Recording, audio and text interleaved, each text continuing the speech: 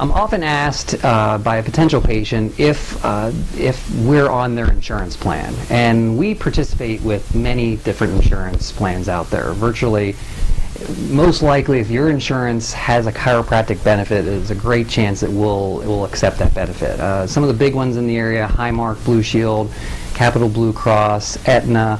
Cigna, uh, Medicare, we're providers for United Healthcare. Um, there's there's many more out there, too too numerous to, to list right now. But uh, um, we also uh, are on all auto uh, insurance policies as well too. Um, the easiest thing to do, really, though, if you if you want to know the details, is just give our office a call, 898-8900. Um, and we can verify your insurance in advance. We can usually find out pretty specifically what your co-insurance or co-pay might be, uh, and then you know before you even come in the office. So um, that's uh, uh, that's the easiest answer to that question.